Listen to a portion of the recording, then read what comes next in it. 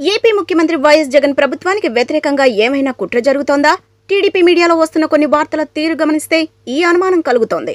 తిరుపతి ఉప ఎన్నిక నేపథ్యంలో ఈ వార్తకు విశేష ప్రాధాన్యత ఇచ్చి ప్రచారం చేశారా? లేక ఏదో రకంగా జగన్కు వ్యతిరేకంగా కుట్రను నడపాలన్న లక్ష్యంతో ఇచ్చారో తెలియదు కానీ టీడీపీ హయాంలో ఇంటెలిజెన్స్ అధికారిగా పనిచేసిన ఏబి వెంకటేశ్వరరావు సిబిఐకి రాసినట్లు చెబుతున్న ఓ లేఖపై జరుగుతున్న ప్రచారం చూస్తే పలు అనుమానాలు వస్తున్నాయి. టీడీపీ టీవీ ఛానళ్ళు గత రెండు మూడు రోజులుగా అచ్చంగా మాజీ మంత్రి ప్రస్తుత ఏపీ ముఖ్యమంత్రి వైఎస్ జగన్ చిన్నాన్న కేసే తిరుపతి ఉప ఎన్నిక ఏజెండా అయిందని టీడీపీ జాతీయ ప్రధాన కార్యదర్శి లోకేష్ దానిని ప్రముఖంగా ప్రస్తావిస్తున్నారని చెబుతూ వార్తలిచ్చాయి. డిబేట్లు పెట్టాయి. తిరుపతిలో ప్రభుత్వం చేపట్టిన వివిధ సంక్షేమ అభివృద్ధి కార్యక్రమాల ప్రస్తావనకు బదులుగా వివేక హత్య కేసును ప్రధాన అంశం చేయడం ద్వారా టీడీపీకి రాజకీయ లబ్ధి చేకూర్చాలన్నది ఆ మీడియా యత్నం.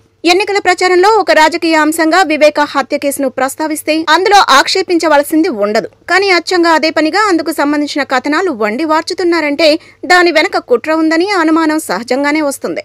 దాన్ని నిర్ధారణ చేస్తూ ఏబి వెంకటేశ్వరరావు సీబీఐకి రాసినట్లు చెబుతున్న లేఖను టీడీపీ మీడియా ప్రముఖంగా ప్రచురించాయి. వివేక హత్య ఘటన దారుణం. దురదృష్టకరం. ఇందులో ఎవరి పాత్ర ఉందని తేలినా చర్య తీసుకోవాల్సిందే. అందులో ఎలాంటి రాజీ లేదు. కానీ తిరుపతి ఉప ఎన్నికకు వివేక హత్యకు ఏం సంబంధం? ఆయన తిరుపతి ప్రాంతం వారు కాదు. కడప జిల్లాకు చెందినవారు.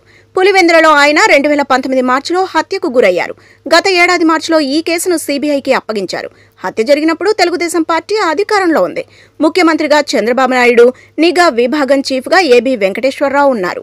ఘటన జరిగిన తర్వాత దాదాపు రెండున్నర నెలలు వీరు అధికారంలోనే ఉన్నారు. ప్రత్యేకంగా ఒక దర్యాప్తు బృందాన్ని చంద్రబాబు ప్రభుత్వం నియమించింది. అయితే అప్పట్లో సీబీఐకి అప్పగించాలని వివేక కుటుంబ సభ్యులు కానీ జగన్ కానీ కోరి హైకోర్టులో కూడా పిటిషన్లు వేశారు. నిజంగా చంద్రబాబుకు లేదా ఏబీకి చిత్తశుద్ధి ఉంటే ఆ హత్య కేసును ఛేదించడానికి రెండున్నర నెలల సమయం సరిపోలేదా?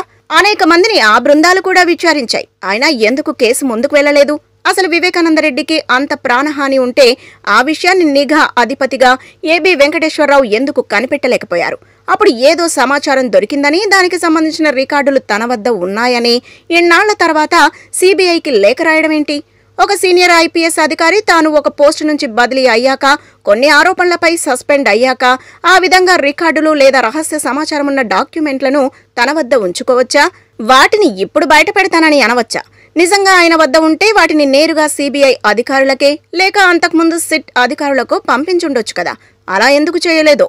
హత్య జరిగిన తర్వాత ఒక హెడ్ కానిస్టేబుల్ ఒక హోంగార్డ్ అక్కడకు చేరుకున్నారని వారి కుటుంబ సభ్యులు వారిని లోపలకు అనుమతించలేదని ఏబీ ఆరోపిస్తున్నారు. పోలీసులను అలా ఆపే పరిస్థితే ఉంటే వెంటనే ఎవరు అలా చేశారో వారిపై అప్పట్లో పవర్ఫుల్ ఆఫీసర్గా ఉన్న ఏబీ ఎందుకు చర్యలు తీసుకోలేదన్న ప్రశ్న కూడా వస్తుంది. నిజంగానే ఏబీ వద్ద ఏదైనా ముఖ్య సమాచారం ఉంటే సీబీఐ చీఫ్కో లేక ప్రస్తుతం దర్యాప్తు చేస్తున్న సీబీఐ అధికారులకు పంపించుండొచ్చు కదా. తాను సమాచారం ఇస్తానన్నా తీసుకోవడం లేదని ఏబీ చెప్పడం కొంత ఆశ్చర్యంగానే ఉంటుంది. ఇదంతా ఆయన ప్రస్తుత ప్రభుత్వాన్ని బ్లాక్మెయిల్ చేయడానికి చేస్తున్న ప్రయత్నంగా కొందరు విశ్లేషిస్తున్నారు. ఇజ్రాయెల్ టెక్నాలజీ కొనుగోలు కుంభకోణంలో ఆయన సస్పెండ్ అయి ఉన్నారు. దానిపై విచారణ జరుగుతోంది. తిరుపతి ఉప ఎన్నికల్లో రాజకీయ లబ్ధి కోసం తెలుగుదేశం అధినేత చంద్రబాబు నాయుడేమైనా ఈ డ్రామా ఆడిస్తున్నారా? అన్న సంశయాన్ని మరికొందరు వ్యక్తం చేస్తున్నారు. ఏబీ సమాచారం పంపితే తీసుకునే పరిస్థితి ఉంటుందా? ఘటన జరిగిన తర్వాత రెండేళ్ళ పాటు తన వద్ద సంబంధిత సమాచారం ఉంచుకోవడానికి రూల్స్ ఒప్పుకుంటాయా?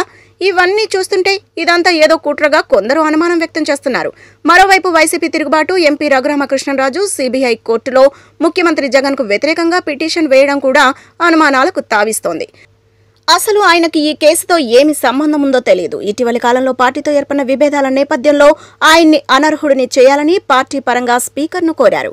అది ఇంకా పెండింగ్లోనే ఉంది. ఈలోగా తెలుగుదేశం మీడియా ట్రాప్లోకి వెళ్ళిన రఘురామకృష్ణరాజు రోజు ఢిల్లీలో ఒక చెట్టు కింద కూర్చొని ఏదో ఒకటి మాట్లాడుతూ ఉండటం దానిని టీడీపీ మీడియా విస్తారంగా ప్రచారం చేయడం జరుగుతోంది. మరోవైపు ఆయనపైనే సీబీఐ వందల కోట్ల విలువైన బ్యాంకు రుణాలను దారి మళ్ళించిన వైనంపై కేసు నమోదు చేసింది. ఆయన కుటుంబ సభ్యులు కూడా ఈ కేసులో ఇరుక్కున్నారు. ఇది ఎంత పరువు తక్కువ? ఈ విషయాలను విస్మరించి నిత్యం ముఖ్యమంత్రి జగన్ పై ఏదో ఒక విమర్శ చేస్తూ కాలం గడుపుతున్నారు.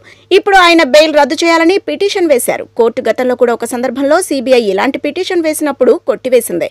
కానీ రఘురాజు చేస్తున్న ఈ ప్రయత్నాల వెనుక కూడా ఏమైనా కుట్రలు ఉన్నాయా అన్న సందేహం వస్తోంది. బీజేపీ నేతలు కొందరు ఇలాంటి దుష్ప్రచారం చేయడం ఆ తర్వాత రఘురాజు ఈ పిటిషన్ వేయడం సహజంగానే సందేహాలకు తావిస్తోంది. గతంలో వైఎస్ జగన్ ఇంతకన్నా పెద్ద కుట్రలనే ఎదుర్కొని ప్రజల మన్నన పొంది అధికారం సాధించారు. అయినా జరుగుతున్న పరిణామాలలో ఏమైనా కుట్రలు ఉంటే వాటిని గమనించి ఎదుర్కోవడానికి జగన్ సన్నద్ధంగా ఉండాలని మాత్రం చెప్పక తప్పదు.